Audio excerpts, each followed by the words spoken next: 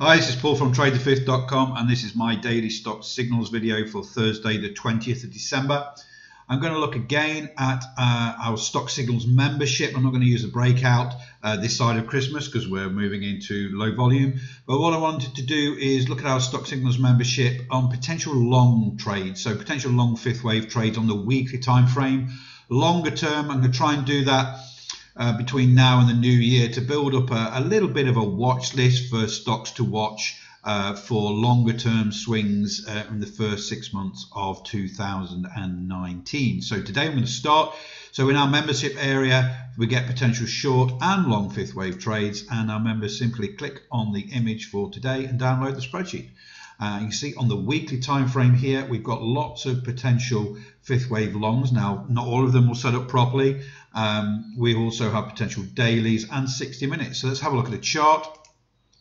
So I've chosen PTC on the weekly time frame for a potential long fifth wave move. So this could take anything from 9 to 20 weeks uh, once we get the trigger. So first of all, let's talk about that stock scanner membership and those basic filters. Uh, before we do that, just to show you, we've got a very longer term from 2015, really, really nice 30 degree trend channel there that this we just poked out there recently a uh, bit parabolic there at 45 degrees and then we've pulled back quite dramatically with the markets but found to seem to have found good support. So that's the overall picture there. Our multiple time frame dot cloud does show that we're overall strong bullish. Uh, so let's have a look at those filters initially for that uh, stock scanner membership where we get those signals from and what uh, what makes them up.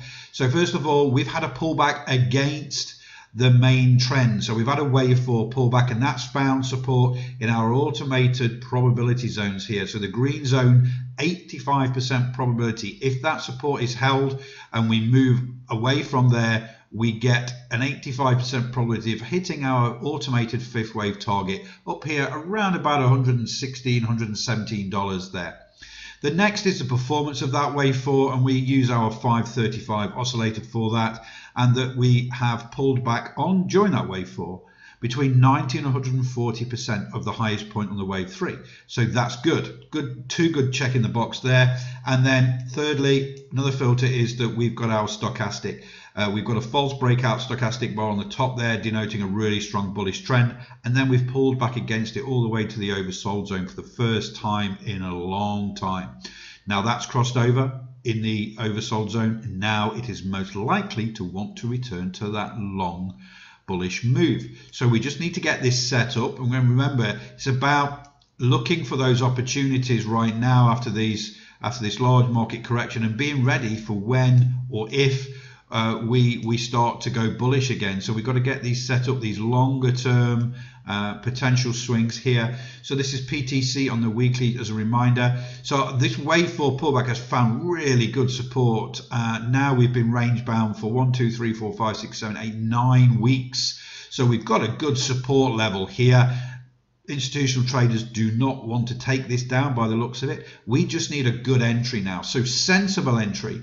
We've got to look at above all of this range, but also we've got our special W5T EMA cloud here. We want to be above that and we want to be outside of the 6-4 moving average high, the green moving average high, part of our Elliott Wave indicator suite here. So this is our Elliott Wave indicator suite for the Thinkorswim trading platform, also available for Ninja Trader, TradeStation and multi-charts. So we've got this entry at 9207, very sensible entry. The stop loss is below the low of the wave 4 here. Also, I put it below this $77 mark. So 76.85 is the stop loss. And then our target zone, in the middle of the target zone, is around about $117 there. So risk to reward of 1 to 1.6.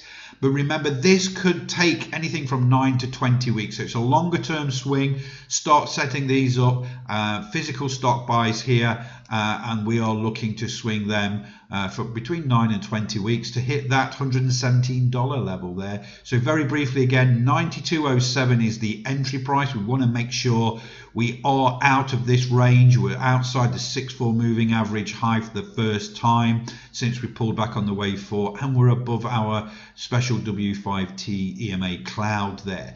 And then the stop loss 76.85, target $117. Very, very simple setup, straight from our stock scanner membership and using our Elliott Wave indicator suite just to fine tune that and get that entry sorted out. Okay, so that's it for today. Have a great trading day. Speak to you all tomorrow.